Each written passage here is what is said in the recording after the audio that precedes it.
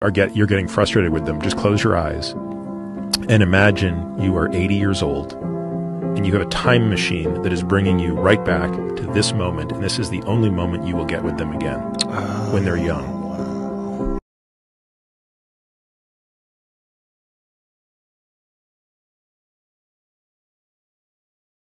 Like personally, if someone's coming at you or attacking you or making you wrong, how do you keep your cool and not get defensive and take things personally? Or do you? It's very natural to take things personally, but what I say before I want to take things personally is I'll say I'll say put it down, Jefferson. I'll say put it down. Most of the time when we're taking something personally, we're picking something up that nobody asked us to carry. And we're just choosing to hold on to it. Choosing to say this was meant for me. And that's not always the case. And too many times we get somebody says, "Why are you taking this so personally?" And they turn around, we're holding it all. Like, well, why are you holding that? I didn't ask you to hold any of that. So you you, you get in a position to where the how personal you take something is a direct reflection of how much grace you give other people.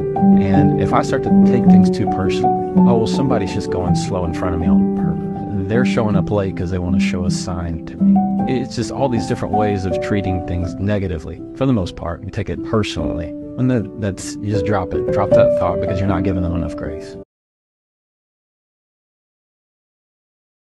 Somebody can make me happy, somebody can make me unhappy. These privileges I kept to myself. It's time you do that too. Because if somebody else can decide what can happen within you right now, isn't this the ultimate slavery? How I am is my choice, this is my way. No matter what they do, I'm like this because I have not given that freedom to anybody that somebody can freak me, somebody can make me angry, somebody can make me happy, somebody can make me unhappy.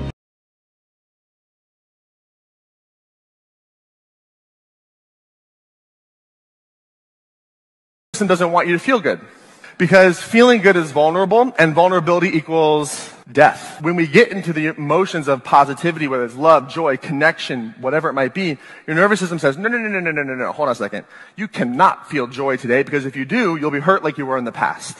And so what happens is we have your nervous system versus your heart. What's going to stand in your way of bringing your purpose to life? Fear is sort of a broad term. The real truth is unhealed emotional trauma. Typically, it takes a moment or two to be traumatized. It shouldn't take two fucking decades to be untraumatized. So if you feel like you're getting stuck in a certain area, stuck is safe. So it's not necessarily bad because it's a great survival strategy. However, not so good for optimizing your life and thriving. Because if you're scared of something that you don't understand and you rally against it, you cut yourself off from understanding what could help influence it. Because if you're hating something, you can't influence it. Fear is a compass showing you where to go. So if you want to know what to do, look at the things you're most afraid of doing and just do it until you're not afraid of it anymore.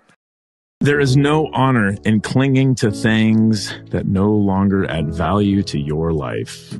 And I've seen this so many times where people hold on to things because they see it as honorable. I'm not putting it in the landfill.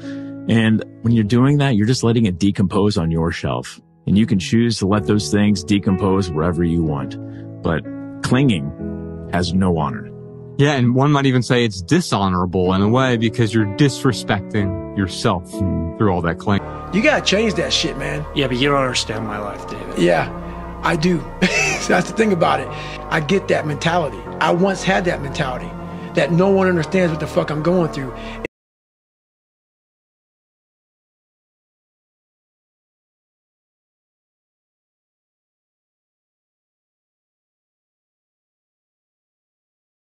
This is where self esteem is an obsession of mine, not delusion, because that's what a lot of modern parenting does. I remember trying to make an excuse for striking out in a baseball game and trying to use the sun in oh, my no. eyes as an excuse. She didn't let me do it. And I became very accountable because of those levels of parenting and realities. And that accountability led to so much happiness. It was this weird balance that my mom created between deep confidence, but accountability and truth very subtly. Talk about childhood forming you. It's amazing to me sentences change people's lives.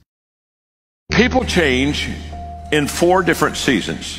People change when they hurt enough they have to, when they see enough they're inspired to, when they learn enough that they want to, and when they receive enough that they're able to. Those are the four times that people change.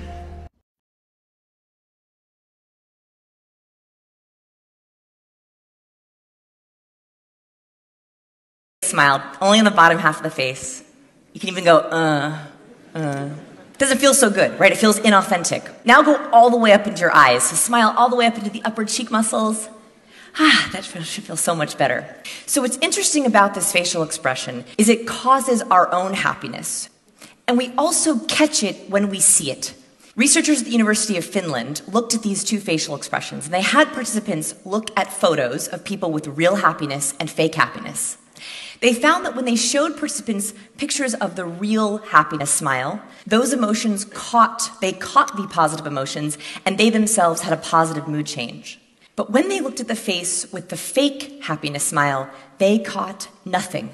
In other words, if we show up to events that we're ambivalent about, interact with people that we don't really like, we become less memorable.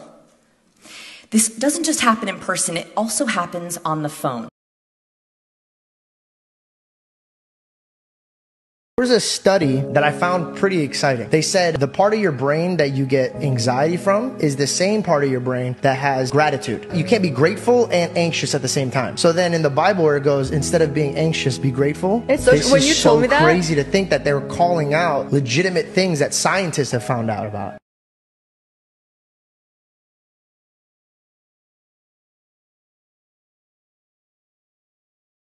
Think hurt people hurt people. One, I think when you're hurt, you think anger is a strength. You think bitterness is a strength. Because if you stop and think about it, when you're bitter, you don't feel weak. See, when you're angry, you don't feel weak. You feel power, powerful, you feel powerful, strong. Yeah. And so what happens is that these negative emotions hide your own vulnerability and, and weakness and pain. As long as I'm bitter, I don't have to think about the fact that I've been betrayed. Wow. As long as I'm angry, I don't have to think about the fact that I'm so deeply wounded, I can't even deal with it. And so we use these negative emotions to feel powerful. And it's the most terrifying thing in the world to let go of those negative emotions because now you're completely powerless. And, and you have to trust it that if you can let go of hate, that love is more powerful. That if you can let go of bitterness, that forgiveness is more powerful. That if you can stop hurting people, that you will not get more hurt. But here's, here's the problem. Whenever you love, you risk being hurt. so many women specifically, and this is like coming just from my perspective, hold themselves back from doing anything for multiple reasons. But one, they think like, oh, I'm, I could never do that. I'm not ready. I'm not ready enough.